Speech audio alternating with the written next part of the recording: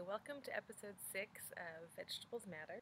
It's been a while since I filmed myself. I had a lot of computer problems. Um, I actually lost the edit for the last one, which is why it took so long to post.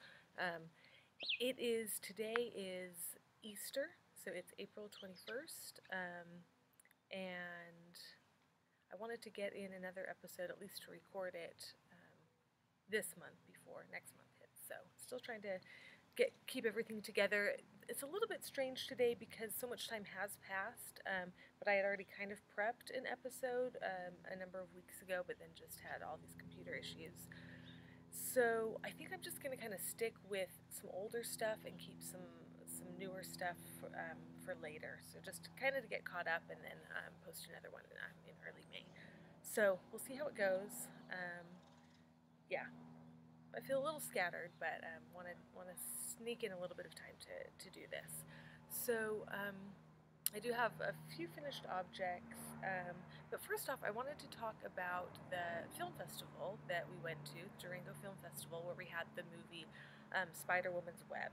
Larry Ruiz was the director for that, and my husband was the cinematog cinematographer, and I did um, some audio on it. Plus, I just got to um, relate so it's a film about Navajo weaving, and I just got to um, spend time with these Navajo um, and spinners and dyers and all of that, and kind of relate on um, on that fiber level as well, which was amazing. it was it was a really really incredible experience. So we went to the film festival, um, and the film won the audience award in the Native Cinema program. So pretty pretty cool and awesome. Um, way to go, Larry. Um, unfortunately, a number, most of the weavers were not able to make it because they were down at an art festival in Phoenix. Ooh, that sun came out. Um, and oh, I don't need this.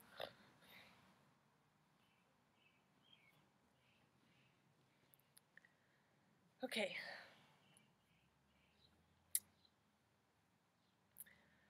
Yeah, they were at a Phoenix Art Festival, I forget the name, um, and Kevin Aspaas won the grand prize, I think, for the show. Um, they all did quite well. I think, no, I am not remembering the details. I think Zefren really got some, some good stuff as well, but I think Kevin might have gotten Best in Show. Um, anyway, so they did really well at that, but we were really sad that we didn't get to see them um, at, the, at the film festival. So, um, one thing I wanted to mention with um, kind of this inclusiveness that's being talked about um, in the podcasting community, I know people people say it's on Instagram. I'm not on Instagram, and so I don't really know like the nitty gritty of what's going on. But I hear people reference um, this, and I did look up the original blog and that kind of stuff um, that that kind of sparked all of it. So I just wanted to say, um, kind of along the inclusive lines. Uh, a number of years ago, I watched a, a little thing um, specifically about people of color and kind of experiences they've had. And, you know, they say, okay, so what do you do as a privileged person? You know, if you are someone with privilege, what do you do? Um, and I loved their answer. I wrote it down and kind of had it as a post it note for a while. Um, she said, You you use your position of power to give voice to, um, she said people of color, but I would say minority peoples. Um, and I really feel like Larry did that so well in this film. Um, you know, it's it's his movie. He's not a native um, filmmaker, but he kind of had an idea of what of what he wanted um, the film to be, I think. And then he really allowed, as we were meeting these these young weavers, he really allowed them to make the movie what they wanted it to be. And so I just really applaud Larry's efforts um, with that. I think he just did an amazing job at at using his privilege, um, his position of privilege, to give voice to others. So um, yeah, good job. okay, um, I wanted to include that they won a bunch of stuff. Yeah. Um, so now I'm just going to talk about um, a few finished objects I have and a little bit of spinning. Um, there's not going to be a lot that I talk about today. So, thrummed mittens. Dun dun dun dun. Here they are. Um, yeah, I finished them just in time for it to warm up, so I haven't worn them really, and I don't really plan to. I've kept this out so that I could show, but I, I actually want to turn it right side in so that it's just totally done. I even have the ends woven in.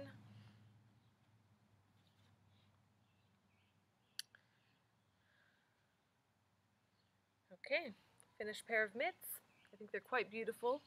So I kind of um, mixed a couple of thrummed mitten patterns. Um, basically, the Yarn Harlot has like a thrum along um, on her blog, and but I also found a free pattern um, on Ravelry, and I kind of combined the two. I did find it a little challenging to do the thrums. These took a lot longer than I would have thought. The thrumming took took a little time, um, quite frankly, and like I said before, mine are like these little puff balls rather than these V's. I don't really know how other people do it. I tried a few different techniques and it didn't work. So um, anyway, they're cute. I feel like I have some more to learn with thrumming, but um, just quickly, the yarn is a Columbia and Columbia Cross that um, that live up in Idaho, and the thrums were rovings that I had dyed with, um, the blue is Hopi black sunflower seed, the yellow is red onion skins, and the green is red onion skins in an iron pot. Um, but all of these were kind of like the exhaust dye bath, so I had already dyed the primary color and then just threw something um, secondarily in there. Um, oh, I did want to say I ran out of the the blue, the black, Hopi Black Sunflower stuff. Um, I don't know. I'm out of it right now. So, okay. I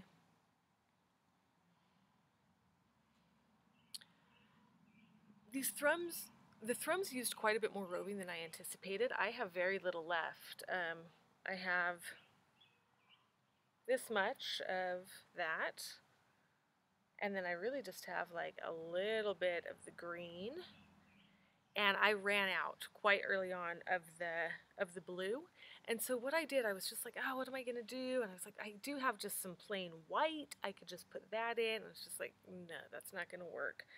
So, um, okay. So what happened was last time I talked about the rose petal dye bath. When I washed it out, I just got this yellowish, beigeish color. Not, I was not very excited about this. I was just like, oh, yep, yeah, another color like that. That's like a classic color to get. But it ended up, I actually, when I put it with things, I was like, wow, that's actually that same hue, that same tone. I think it's quite pretty. I just had it with a few different things, and it's like, that actually works. Um, so I thought about adding it, but it's just like, no, it's different. I've already started. I want to keep going. Then I also had this is not Targhee anymore. All of this other roving is Targhee. But um, I had this Lincoln that was dyed with the Hopi Black Sunflower seeds. And, you know, I thought about putting that in. It's a different type of, of wool, but um, I thought, oh, you know, I could try it. It's quite felted. Um, um, it didn't quite work for me, and so then I decided, oh, I can blend these fibers. So that is what I ended up doing. I blended this plus the white Targhee, but then that ended up being looking too cool. I think the white just made it made it kind of this different tone. So then I ended up using just a titch of this to add a little bit of that warmth to it. So this has already come quite in handy. Um, and I just ended up blending the color um, to, to um, get that blue to continue. And I think it worked quite well. You can see some of them have a little bit too much yellow now. I don't know, but this one you can see has kind of a stripe of these, of this. So um, yeah. Okay, that is everything for the thrums.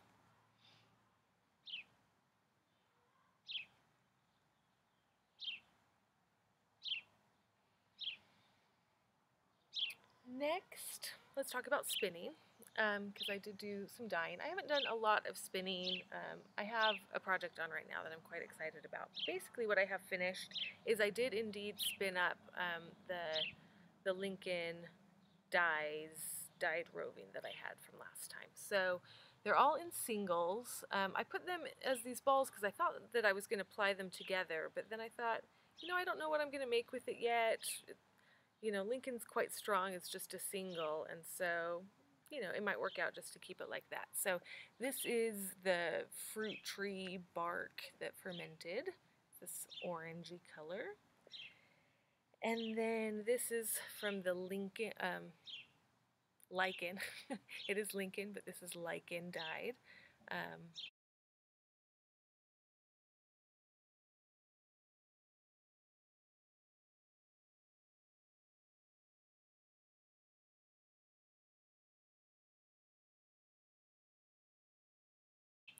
And then this is, I kind of pulled out from the cochineal, I pulled out the, the darkest pinks that I had, and obviously there's some lighter stuff in there too, but kind of pulled out those sections and spun this up. So I thought that I would maybe do like a Valentine's thing with them next year. I don't I don't know that that's what it's going to be. These these aren't totally screaming Valentine's Day to me, or at least not with this. Maybe as a more muted thing. I don't quite love them all together. We'll see. I might find the perfect project. I don't know. Um, so that is spinning. Right now on the wheel I do have um, the churro that I had processed last time. I'm spinning that up. I'm really excited about it. I hope that I have the stamina to keep going because um, I've made a couple decisions. I already had a project, a crochet project that's partially done that used it and then I just um, ran out of what I had processed and wasn't really wanting to, I was, I got involved in some other things. So now that I have roving, I'm like, oh, I can keep spinning for this project and finish that up. Um, so there's that. But then in the midst of that, I realized that for the warp yarn, I didn't find any warp in Durango. Durango had one yarn shop. It was really small and it didn't quite, it didn't, it didn't really have the local and, and all of that stuff that, that I really drive with. So, sorry, I keep interrupting myself. Um, so with the churro, um, I do want to create a warp yarn to do with the alpaca core spun.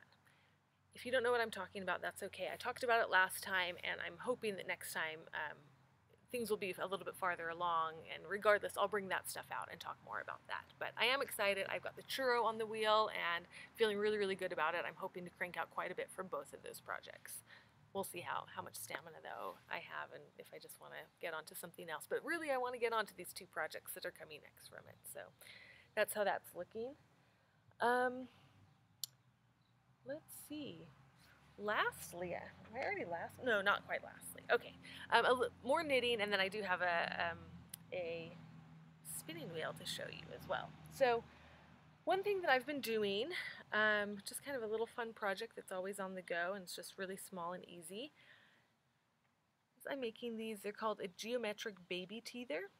Um, and yeah, just using up little scrap pieces of yarn and making these cute little baby toys. I, I used to try to make baby stuff when babies were being born, um, but it just got overwhelming. People were just having babies too fast. My cousins are just like cranking them out. Um, so I kind of stopped and have fallen behind. Um, but it's been really fun to discover this. You know, these are just a lot simpler and faster to make than other like baby toys and balls and sweaters that I've made in the past. So um, this one's totally done. It's felted already. I do have two more I do have two more um, that are done but not yet felted. So, and then I get to trim off those little ends. Hi, sweetie. I only need a, a little bit longer, okay? Um, I have some others that are half started. It was really fun with this project to um, just go through my stash and just pull out all the teeny little bits and all these bright colors and just be, you know, choosing the colors as you go along. Um, it's, it's been fun. So that is that. With this one, um, the reason it's felted, and I'm going to save up the other ones and felt them, you know, when I have a bigger group of felting to do, because I am aware of the water usage. Um, these, I, I threw these two things together. So this is a hat that I made um, some time ago, a couple winters ago, and I really loved it. It was great. It was this awesome slouchy hat, and um, so the turquoise is just some wool that's left over from some slippers I made, but then this um,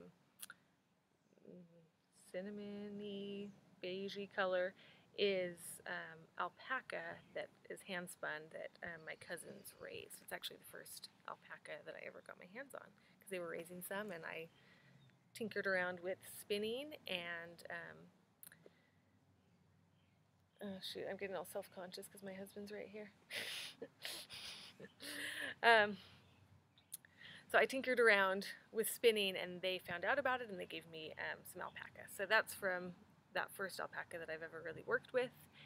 But it had gotten really big. I think the alpaca just kind of kept growing and growing, and so it just I wasn't wearing it anymore. Um, and so I've been wanting to felt it to kind of you know shrink it down a little bit. And so I threw these two in together. This did not work out quite like I wanted to. It shrunk a lot this way and not as much this way. Um, so it is no longer a slouchy hat, but it fits now, and I do wear it now. So I do think you know the problem solved. It's a different hat now, but yeah, that's okay. I'll just have to make another slouchy hat. Okay, the last thing to talk about is a wheel. So I have a um, Merlin tree road bug, um, and people do kind of some pretty stuff with it. So I was wanting to do some wood burning on it. I'm not particularly an artist of that sort, so I ended up doing a trade with a friend who is amazing. Um, and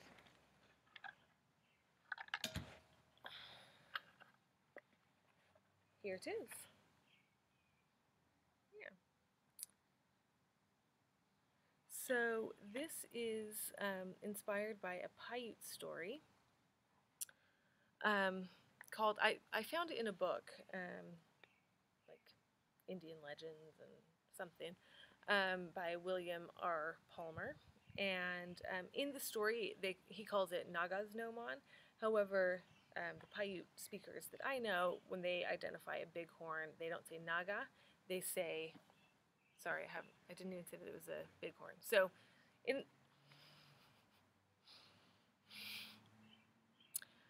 in the story, Nagas Noman, it's about a bighorn sheep. The Paiute speakers that I know, when they've identified a bighorn, they say nah. So um, this is nah. The story is not called Nagas Noman. That's a different thing. Okay.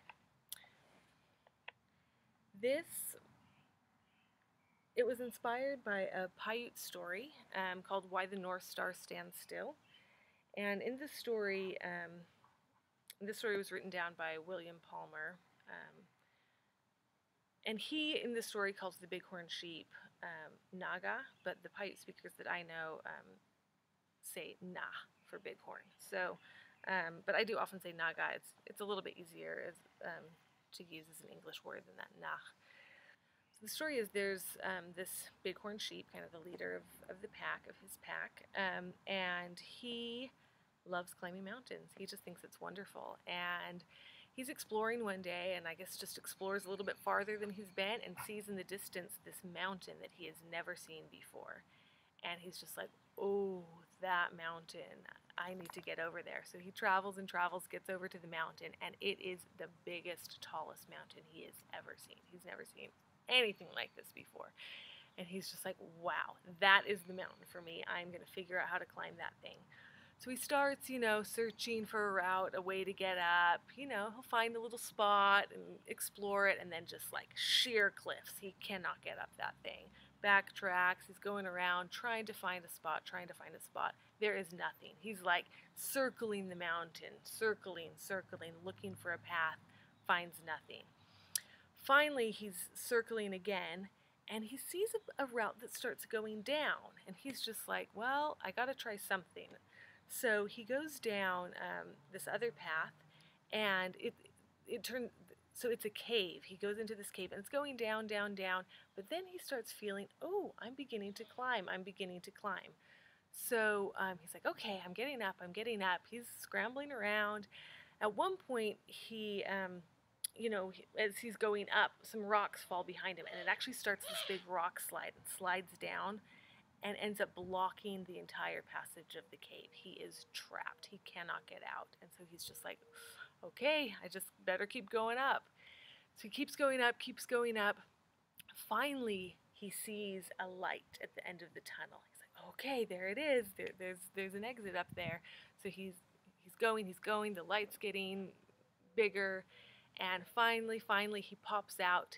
He's at the top of this mountain, and he there's a little there's a pool of water. There's a little bit of grass. He eats, he drinks, And then he looks around, he's like, okay, I made it, I'm here, and realizes he can never get back down.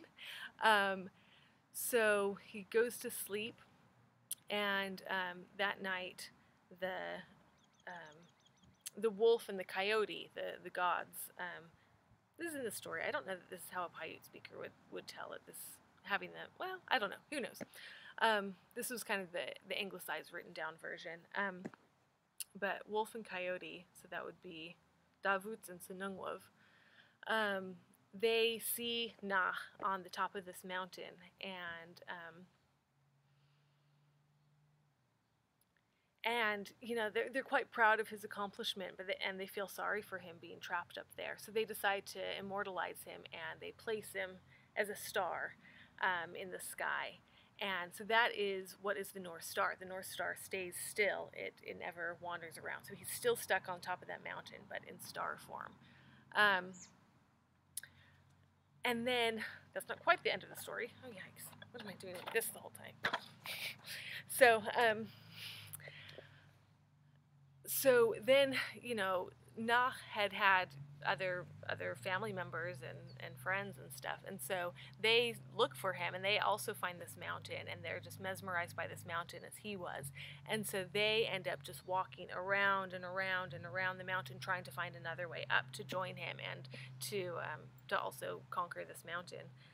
Um, and those are the stars of Cassiopeia and the Big Dipper, so they're constantly wandering around the North Star there. Um, so that's the story of why the North Star stands still. That is a Paiute legend. Um, so this is, now getting back to the spinning wheel. So, um, four-pointed star represents the North Star in the middle. And then we have these five mountains. These are pro prominent mountains in my valley. Um, and then the bighorn sheep, here they are. So these would be the ones going around and around, I guess. Anyway, bighorn sheep, and then she kind of went into this crazy horn stuff. One thing that I wanted that she forgot about, that I do want to talk to her and tell her that I that I do want to add, is I would like more four-pointed stars all around the edge that, that spin around as well. So there is this. And I had already had the, the hand spun ready for her. Um, it was some Icelandic two ply that I had. Um, I think that is everything for this episode. Um, yeah, I'll see you hopefully in a few weeks because, yeah, I'll be recording again soon.